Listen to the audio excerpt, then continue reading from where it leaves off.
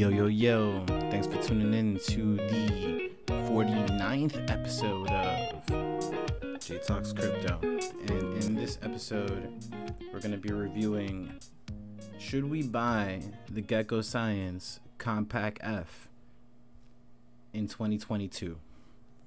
Why or why not? What are the drawbacks? What are the, what are the what is the profitability? That's the question everyone loves, right?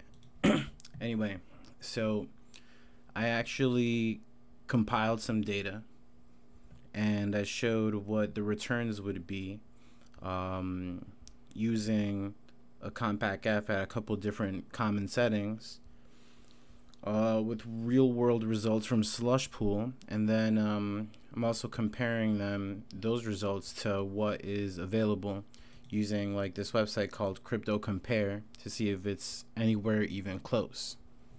So, should I buy it? Like I'll I'll give you guys the uh the the quick lowdown.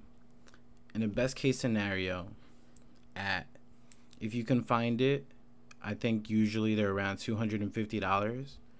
And let's say you get it anywhere from 250 gigahashes to 330 gigahashes like it'll take you if you can overclock it properly to um, over 330 gigahashes assuming that you have all of the infrastructure you need to get the the thing to hash that fast it'll take you about 10 years like 9.9 years to ROI if you get it running at around 250 it'll take you about 13 years to ROI. So just want want want to give you guys a spoiler alert on this video. Um, anyway, I'll post up a picture of the graph so you can kind of like see. Um, but pretty much uh, from January 1st through the 8th, Slush Pool is mined about 64 blocks. Um, if you were running uh, one terahash, uh, you would for you know for that whole first week you would have seen about dollar sixty six in revenue or about three thousand nine hundred and four satoshis. Um, if you had 500 gigahash, which technically this uh, this stick can do, if you have like all the proper gear to to run it, I'll explain that a little bit more in a little uh, towards the end of the video. Um, that's uh, you get about uh, 1,952 satoshis. Um, if you get it to 330 gigahashes, which I think this uh, it's a reasonable assumption for this stick, assuming everything is uh, you know relatively problem free. Um, that's about 1,300 satoshis, and um, if you can pretty much just run it at like the base, like what I would consider the base clock, um, that's a 250 gigahashes. Um, you're getting 976 satoshis.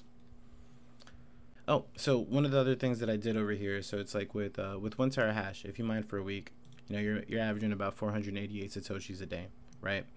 And you know sometimes a lot of people like watch this channel and be like, yo, why the hell are you guys going so hard uh, over mining these uh, minimal amounts of sats, right?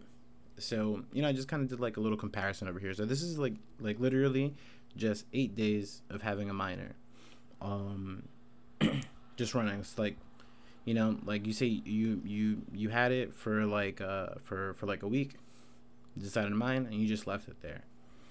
Um, you would have mined thirty nine hundred satoshis. You know, that's um a, a dollar sixty six at the current prices using um 42 500 uh 42,500 with BTC at like 60k, that's like 234. At 75, it's 293. At 100k, that's 390. At 500,000, that's 1952. And at a million, that's uh, a 3904 for just running like a handful of USB sticks for a week. So that kind of like helps put things in perspective because if you kind of like believe in the Bitcoin thesis, you believe that over the long term, it's going to go to those price levels. So it's like if you ask me, like, oh, yeah, why are you doing this? That's why. Oh, and then I was going to compare uh, the results, the real world slush pool results, and I um, I'm gonna use uh, crypto compare. Um, so you know I put in 500 gigahashes.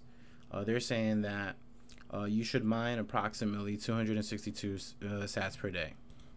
Um, my real world results were uh, 244 sats per day uh, with that.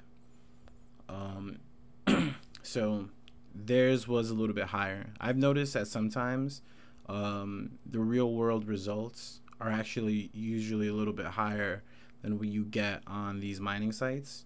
Uh, but when there's uh, drastic changes in or around the difficulty period, or when the when the difficulty adjustment just happened, um, the mining cal- calculated calculators are a little bit off. And yeah, so should you buy it?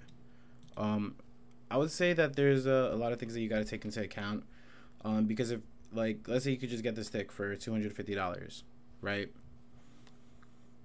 Do you have all of the necessary parts in order to actually run run it properly? Like, do you have a good USB hub?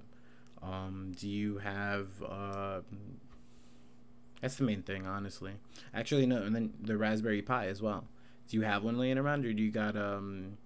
Do you need to get that? As, do you get? Do you need to get that too? Because it doesn't run well on Windows. Um, I've also been reading reports on like Discord and a couple of other places, and you know they say like the same thing where it's like uh, even if you do get it to run on Windows decently, uh, it eats up all of the resources on your computer or something like that. So your computer runs like shit. Um, and it's just apparently it's not it's not a good experience on Windows.